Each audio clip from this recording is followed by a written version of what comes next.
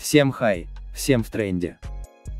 Очень давно у нас не было выпусков про рэп, пора это исправлять.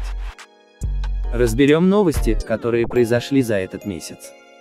Янг Даффи сделал несколько новых треков, и эти треки уже сделали разъеб без нашего ведома. Рутук, если ты сука Новый сорт, я по-новому умер Я черножопый, будто бы я бумер Я взрываю, салют, баша бумчик Вы долбоебы, тут не нужны пруф Неверное слово и в тебя летит пуля Водичка на мне, и водичка За последнее время Даффи уже набрал 10 тысяч прослушиваний в SoundCloud, а YouTube растет все выше.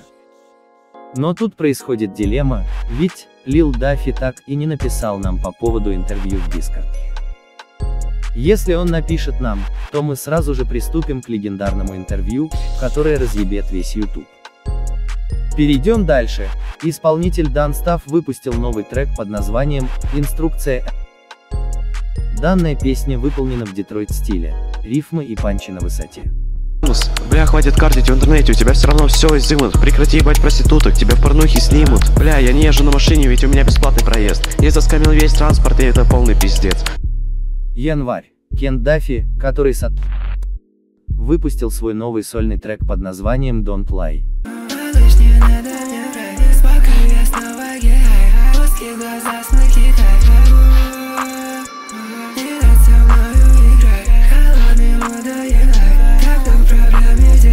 Голос по-прежнему ласковый и красочный, благодаря чему создается невероятный вайб трека.